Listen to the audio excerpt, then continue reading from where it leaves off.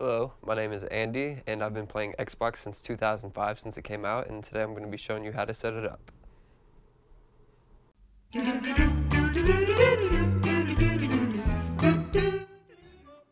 To set up an Xbox 360, you will need an Xbox 360, a power brick, a power cord, audio video cables,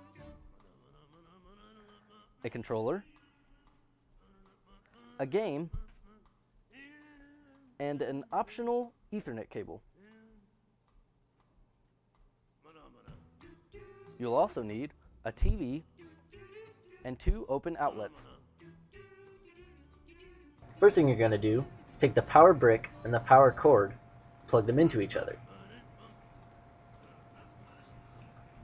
After that, you'll take the power cord and put it into the outlet. The yellow light will then turn on on the power brick. This means that there's power coming into the brick. Next, you'll take the power brick cord and plug it into the back of the Xbox. The next step is to get your audio video cables. Andy has HDMI cables. This means that the audio and video are coming through the same cord. When you have HDMI cables, you want to make sure that they go in the right slot.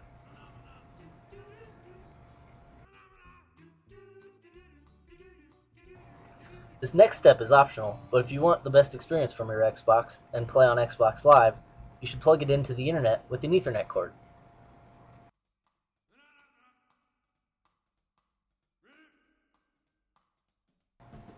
It looks like Andy's almost ready to play his Xbox. Now he just needs to find a game. Looks like he's picked up Halo 3, good choice.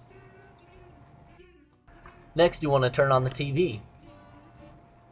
And turn on your Xbox.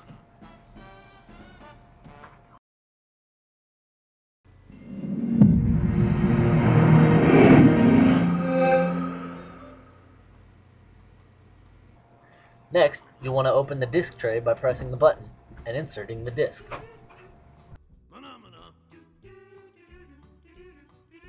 Now let's see if it works. Looks like it worked! Success!